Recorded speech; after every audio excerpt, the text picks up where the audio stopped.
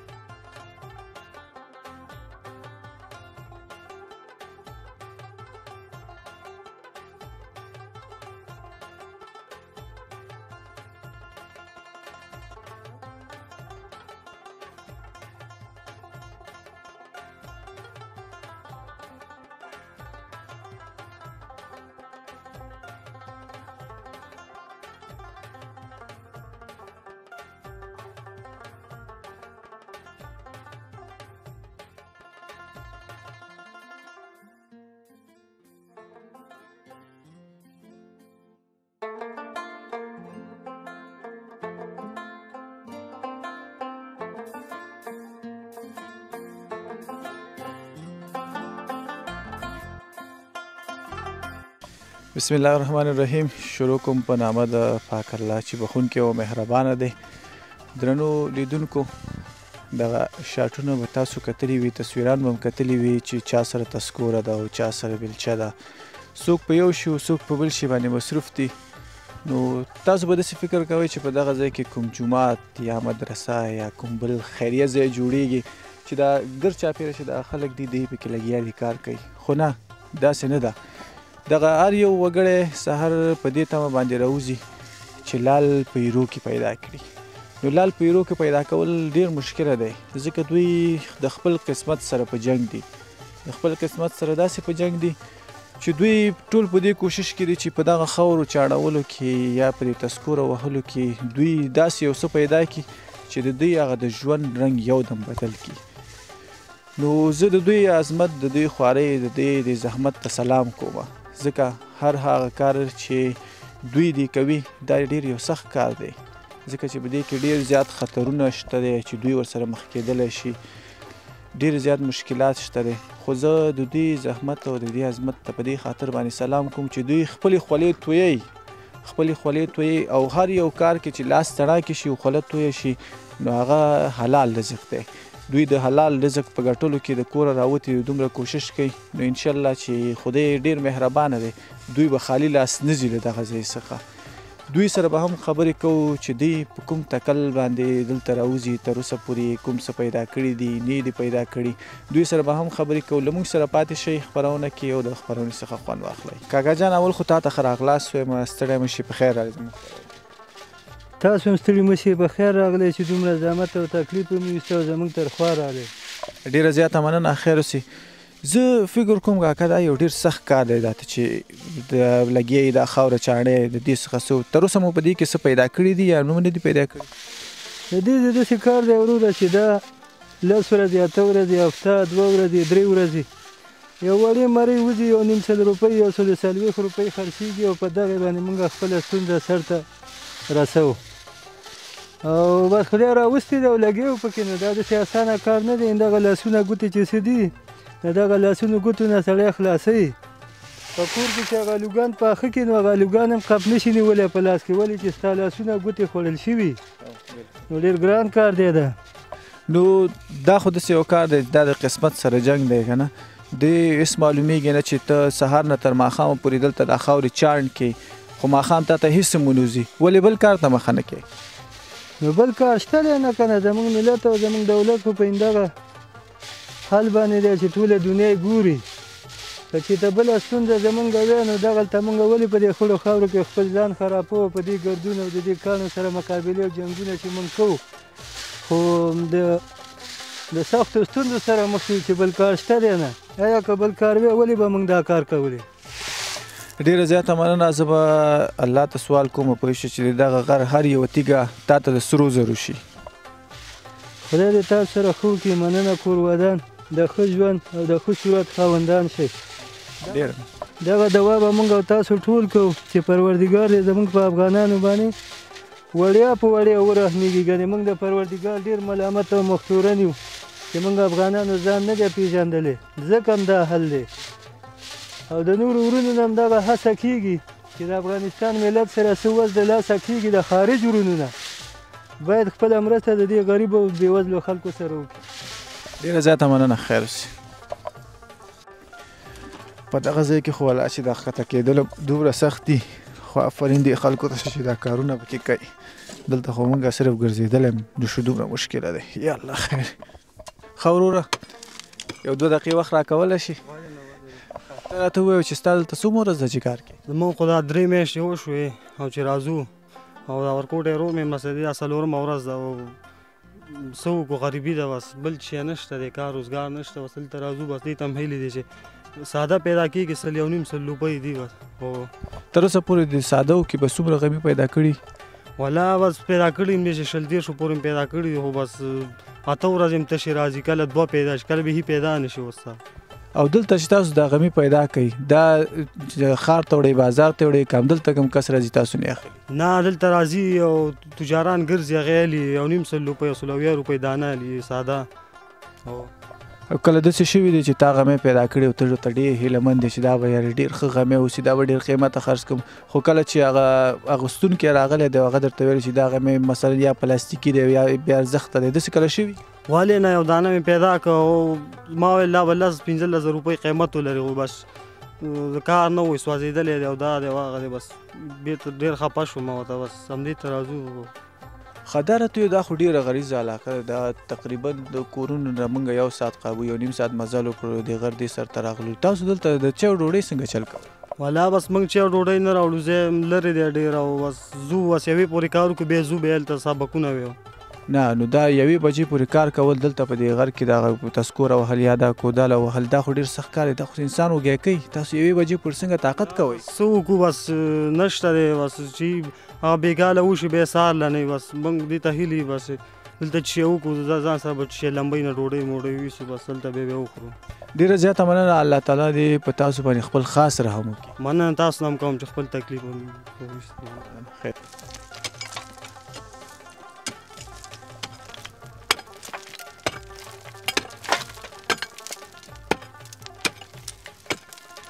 ډېر یو وړوکی ماشوم چې په خپلو وړو وړو لاسونو لګیا دی خاوره چاڼوي زړګی نوم دې چی دی عبدالمصور عبدالمصور زړګی مکتب وای او څوم صنف کې دویم نن مکتب ته ولې نه تلې رخصت دی څومې ورځ هرنن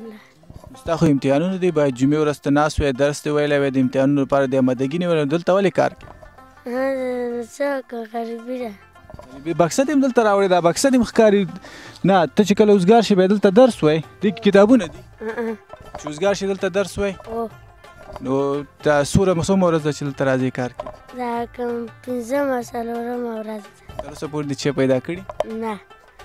کوشش کوي چې پیدا یې کړي خاص زړګی د سیو کا دا کارونه هر وخت کیږي ښه ته د سیو کا مکتب ته ځه مکتب وایا دا کارونه مکوه سید زه پوهیږم چې ستا به مشکلات غریبي به دی وي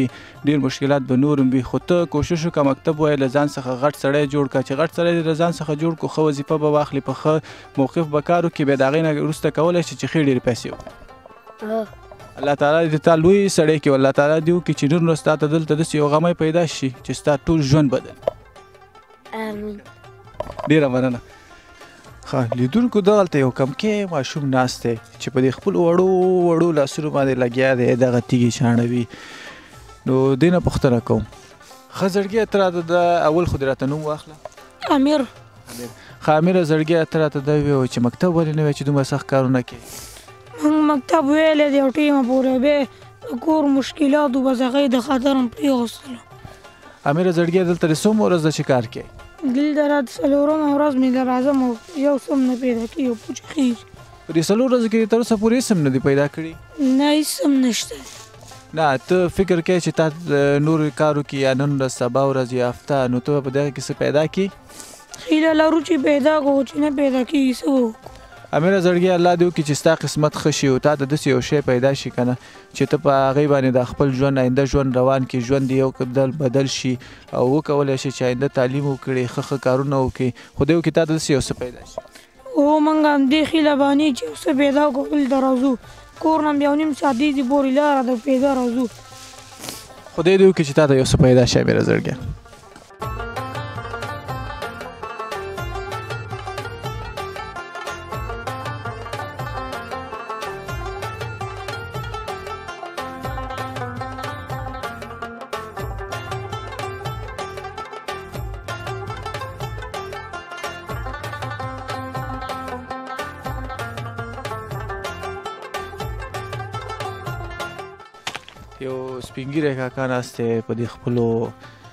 ضعیف لاسونو باندې لګیا دی خپل زحمت وکاږي کاکا سړی مش په خیر راغلی خیر سره آباد اوسې